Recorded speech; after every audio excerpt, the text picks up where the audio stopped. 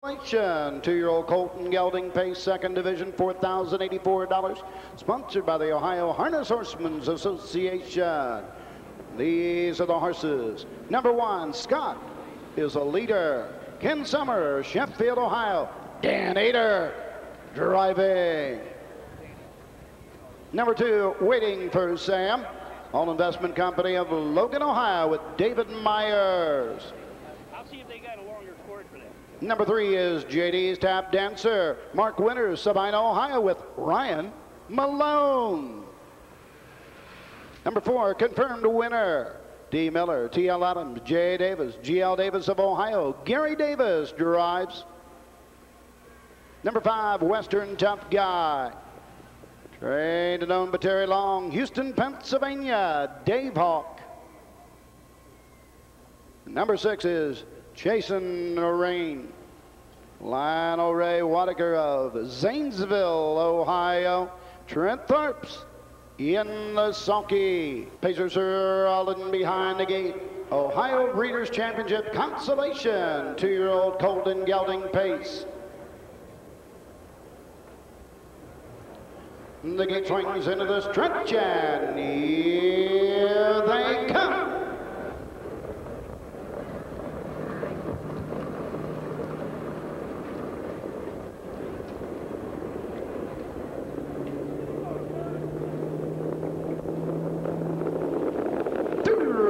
Pacing confirmed winner goes right out for the lead. Jason Rain up on the outside. Scott is a leader, gets away third. He into the turn, racing fourth. Going to the backside, waiting for Sam. JD's Tap Dancer races fifth. Up on the outside, Western Tough Guy. Off stride. Down the backside they go. Jason Rain has the lead. Up on the outside, Dan Ader. Scott is a leader. Opening and 28 and 2. Scott is a leader. Goes right on by and gets to the front by a length and three quarters. Jason Rain second. Racing third. Confirmed the winner. Pacing fourth. Waiting for Sam. Back on the outside fifth. Western Tough Guy. Treading the field. Passing a step the first time. Coming to the halfway point. JD's Tap Dancer. Straight alignment as they come to the half. Scott is a leader on top at the half. 59 seconds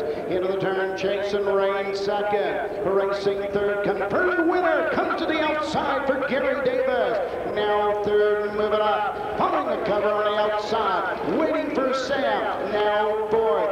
Racing fifth. The Western Tough Guy. Treading the field. JD's Tap Dancer out of it. Down the backside to go. Scott is a leader with the lead. Confirmed winner up on the outside second. Jason Rain third on the outside waiting for Sam. Three quarters, 128 and three. 29 and three, third quarter. Around the final turn. Scott is a leader with the lead. Confirmed winner on the outside. Waiting for Sam. Ready to go three wide. Confirmed winner gets ahead in front. Scott is a leader second. On the outside waiting for Sam. Down the stretch. Confirmed winner on the outside. Scott is a leader. It's confirmed winner. Scott is a leader second. Waiting for Sam was third.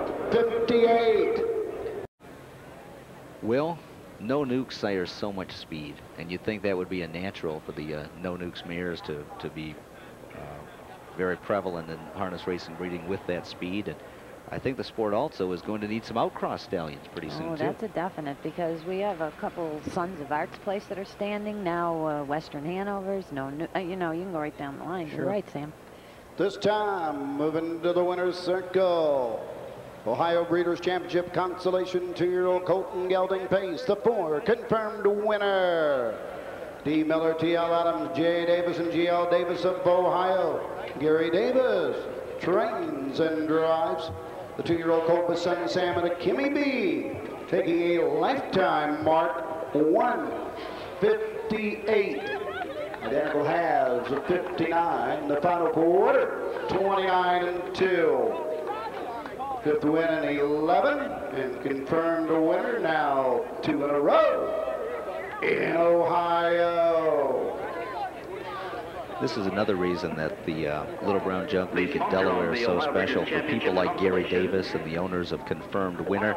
Not a big-time driver at the parimutuel tracks, a county fair type horseman, and this has to be probably the thrill of his life as far as driving. Yeah, it doesn't drive on the same card as uh, John Campbell and Michel Lachance very often. I wouldn't think Gary Davis, but he got the job done today.